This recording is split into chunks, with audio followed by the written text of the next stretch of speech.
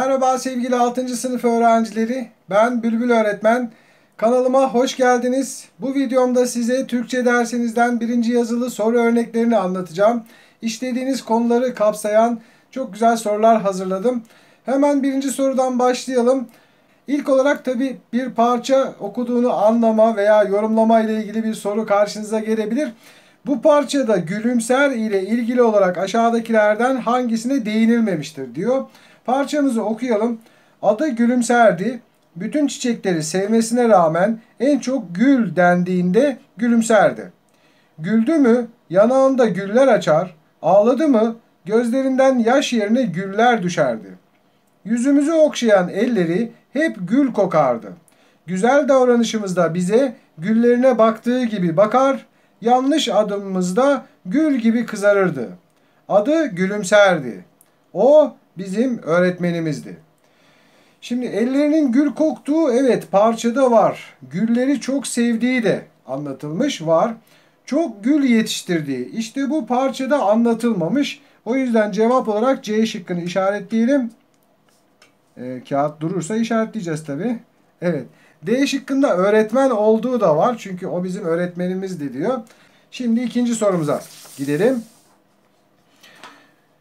Rüzgar dal uçlarında son şarkısını söyledikten sonra büyük bir gururla gitti. Ardından da dağı ovayı derin bir sessizlik kapladı. Öyle bir sessizlik ki iğne atsanız sesi devasa bir yankıya dönüşürdü. Bu metindeki altı çizili cümlelerin dil ve anlatımı için buradaki yargılardan hangisi söylenebilir diyor. Şimdi tek tek bakacağız. Altı çizili cümlelere bakalım. Birinci cümle dal uçlarında son şarkısını söyledikten sonra büyük bir gururla gitti diyor. Yani burada rüzgar canlı olarak canlı bir insanın yerine konulmuş. Yani bir kişileştirme yapılmış. İkinci cümlede ise öyle bir sessizlik ki iğne atsanız sesi devasa bir yankıya dönüşürdü. Yani iğnenin sesi devasa bir yankı olmaz. Burada da abartma var. Demek ki iki numaralı ifade kişileştirme ve abartma yapılmış sırasıyla. O yüzden cevabımız 2 numaralı ifade olacak ve B şıkkını işaretledim. Üçüncü soru. Bu ev güzel ama nokta nokta cümlesinin sonuna aşağıdakilerden hangisi getirilirse cümlenin anlamında bozulma olur. Şimdi buradaki ama ifadesi cümlenin yönünü değişmesine sebep oluyor. Şimdi bu ev güzel ama çok pahalıymış. Bakın güzel evet burada bir beğenme ifadesi var ama dedikten sonra o zaman başka bir anlam, başka bir farklı bir anlama gitmesi gerekiyor ve bu uygun. Bu ev güzel ama satın almalıyız. Bakın iki e, cümle de eğer bu da devamında geldiğinde iki ifade de diyelim daha doğrusu aynı cümle içerisinde ikisi de güzel bir ifade. Ama bu ama sözcüğü değiştirmesi gerekiyordu. Yani iki e, ifade de olumlu. Yani birisinin olumlu birisinin olumsuz olması gerekiyor. Yani B şıkkı buraya uymaz. C'ye bakalım. Bu ev güzel ama çok küçük. Bakın olumlu ve olumsuz. Bu ev güzel ama bahçesi yok. Yine olumlu ve olumsuz ifadeler. Ama burada her ikisi de olumlu. Yani B şıkkı uymadı. O yüzden cevap B şıkkı oldu. Dördüncü soruya geçelim. Çaycı Ahmet Efendi çok az konuşur, kimseye karşılık vermezdi. Sanki nokta nokta. Boş bırakılan yere aşağıdaki deyimlerden hangisi getirilmelidir? Deyimler ve atasözleri her yazılıda çıkabilir sevgili öğrenciler. Buradaki uygun olan şey e, deyim bir dudağı yerde bir dudağı gökteydi değil. Yani A şıkkındaki deyim buraya uygun olmadı. Bir iğne bir iplik kalmıştı. Burada zayıflamakla ilgili bir deyim var.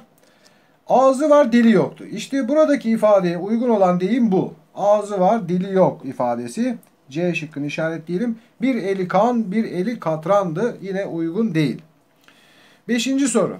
Aşağıdaki cümlelerin hangisinde karşıt yani zıt anlamlı sözcükler bir, ara, bir arada kullanılmamıştır diyor. Şimdi cümlelerin içindeki ben tek tek okumayayım. E, zıt anlamlı olabilecek sözcüklere bakalım. Mesela soğuk sözcüğü var A şıkkında. Sıcak var. Bakın soğuk havalar sıcak havalar. Zıt anlam. Burada var. Sahibini gö gören köpek bir aşağı yukarı. Bakın yine zıt anlam bulduk. Onunla son buluşmamızda ilk defa işte son ve ilk kelimeleri zıt anlamlı. D şıkkında hepsinde var. Demek ki cevap D şıkkında ama hangi kelimeler?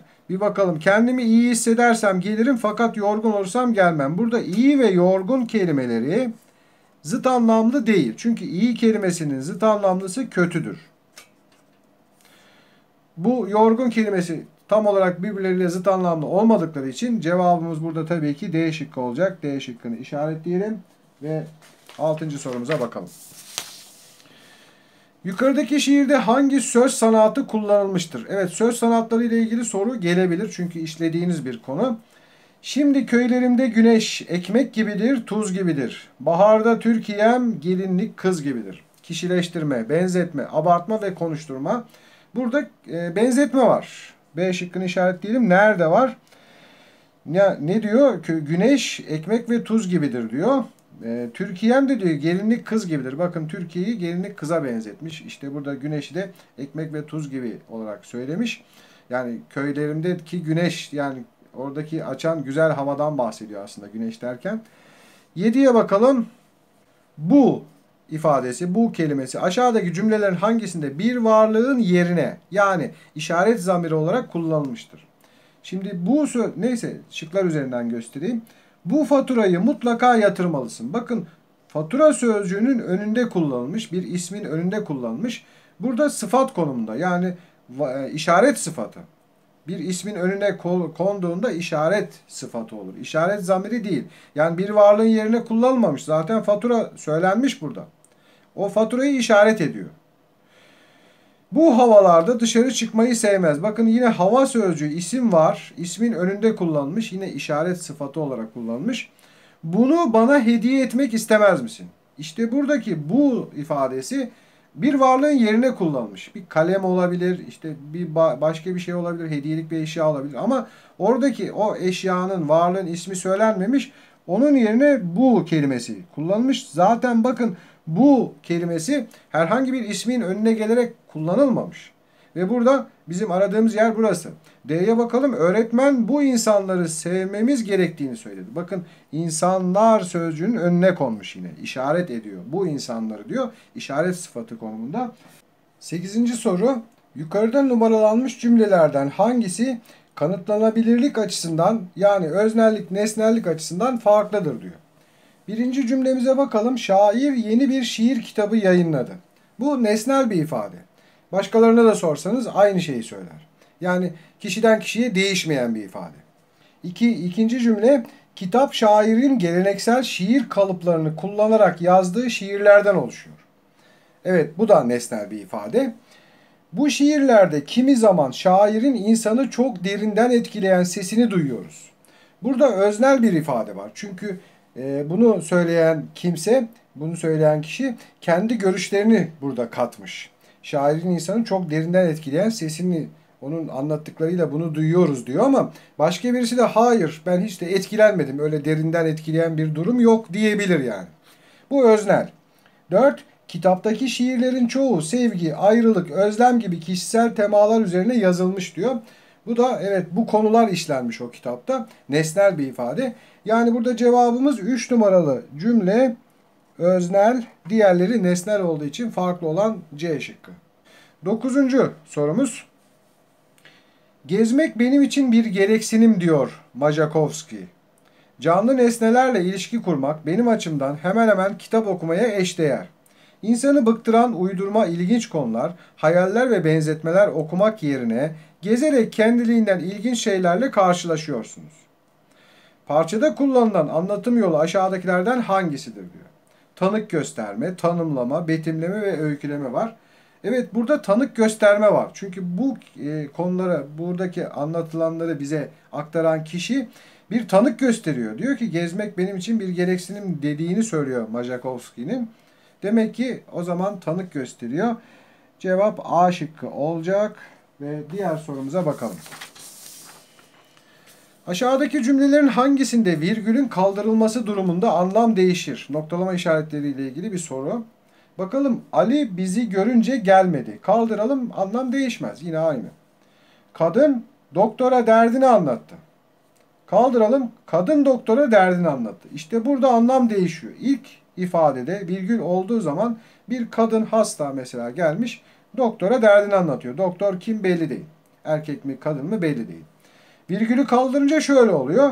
Kadın doktora derdini anlattı. Yani bir kişi gelmiş orada bir kadın doktor varmış ona derdini anlatmış. Bakın anlam değişiyor. O zaman cevap burada B şıkkı. Öğretmen ödevleri kontrol etti. Kaldırsanız da değişmez. Ayşe 5 Ekim 1997'de doğdu. Yine kaldırın yine değişmez. 11. Doğanın tüm cömertliğini gösterdiği cennet gibi bir gölün yanı başında bulunan dağ, evim, dağ evimizde temiz ve güler yüzlü ev sahiplerinin hazırladığı köy kahvaltısını denemeye hazır mısınız? İstanbul'a yakın dağ evimizde sizleri ağırlamaktan mutluluk duyacağız. Aşağıdakilerden hangisi bu metindeki kişileştirme sanatını sağlamıştır? Yani hangi ifade, hangi cümle kişileştirme yapılmış? Nerede yani? Ev sahiplerinin güler yüzlü olması. E zaten bunlar kişi yani. E, kişileştirme nasıl oluyor? Cansız bir varlığı canlı bir varlık yerine koyup konuşturmak oluyor yani. Doğanın cömert olması. İşte bu. Çünkü cömert olmak insanlara özgü bir davranış. Burada doğa insan e, yerine konup kişileştirilmiş. Konukların dağ evinde ağırlanması burada yok. Gölün cennete benzetilmesi bu benzetme, kişileştirme değil. O zaman ne yapıyoruz? 12.ye bakıyoruz. Aşağıdaki cümlelerin hangisinde pekiştirme kullanılmıştır? Şimdi pekiştirme nasıl oluyordu? İşte sarı sözcüğü örneğin sapsarı. Yani çok daha sarı oldu. İşte e, kırmızı kıpkırmızı gibi. Böyle var mı bakalım. Siyah arabaya siyah cam çok yakışmış. Burada pekiştirme yok. Suların içine kendini bir balık gibi salıverdi. Eski ve kötü bir evde yaşıyordu. Kapkara bir kedi gördüm. İşte burada var. Kara kedi gördüm diyebilirdi ama ne yapmış? Pekiştirme. Kapkara. Yani çok e, aşırı siyah gibi böyle pekiştirme şeklinde kullanmış. Kıyıyı gözden kaybetmeye cesaret edemedikçe insan yeni okyanuslar keşfedemez. Bu cümlede anlatılmak istenen aşağıdakilerden hangisidir diyor. Şimdi bakalım hiçbir risk alamayan insanlar bulundukları yerde sayarlar. Galiba buradaki ifade yukarıyı tam karşılıyor. Diğerlerine bakalım. Yeni şeyler öğrenmek ve gelişmek çok çalışmakla mümkündür. Burada çalışmak değil cesaretten bahsediyor. Büyük keşifler ve büyük icatlar ancak erdemli insanlarca gerçekleştirilir. Tam karşılamadı. İnsan azimli olduğu müddetçe istediği her şeyi başarabilir. En iyi karşılayan ifade A şıkkı oldu. Burada risk almak. Yani kıyı e, gözden kaybetmeye cesaret edemedikçe, risk almadıkça diyor insan yeni yerler, yeni şeyler keşfedemez. Bunu anlatıyor. Sıra geldi 14. soruya. Aşağıdakilerin hangisinde ler eki cümleye abartma anlamı katmıştır? Çocuklar bahçede top oynuyordu. Burada çoğul anlamı. Çocuk, çocuklar. O kitaplarını toplayıp gitti. Yine çoğul anlamı. Yani bir e, abartma yok. Onu söyleyeyim. Annesini görünce dünyalar onun olmuştu. İşte bu. Dünyalar onun olmak. Zaten abartılı bir ifade. İşte bu ler eki bunu sağlamış. Gençler geleceğimizin teminatıdır. Burada da yok. Cevap C oldu. 15'e bakalım son sorumuz. Aşağıdaki cümlelerin hangisinde deyim açıklamaya uygun kullanılmamıştır diyor. Bakalım. Pis kokular yüzünden rahatsız olmuştu. Burun, burun kıvırmıştı. Şimdi burada tam karşılamıyor. E, sebebini de açıklayacağım. Şöyle e, rahatsız olmak ayrı bir şey. Burun kıvırmak kendini beğenmek manasında. Bu ayrı bu ayrı yani. Birbirini tam karşılamıyor. Diğerlerine bakalım. Dönmesini büyük bir sabırsızlıkla istiyor. Öğretmeninin yolunu dört gözle bekliyordu. İşte bu tam karşılamış. İşi yapmamak için türlü bahaneler uyduruyor. İpe un seriyordu. Evet aynı deyimin açıklaması. Geri dönemeyeceği bir iş yapmış. Ok yaydan çıkmıştı artık. Evet yine var. Burada cevabımız A şıkkı olmalı. Umarım sizlere yararlı bir ders olmuştur. Her zaman olduğu gibi iyi çalışmalar, derslerinizde başarılar diliyorum. Başka derslerde görüşmek ümidiyle. Hoşçakalın.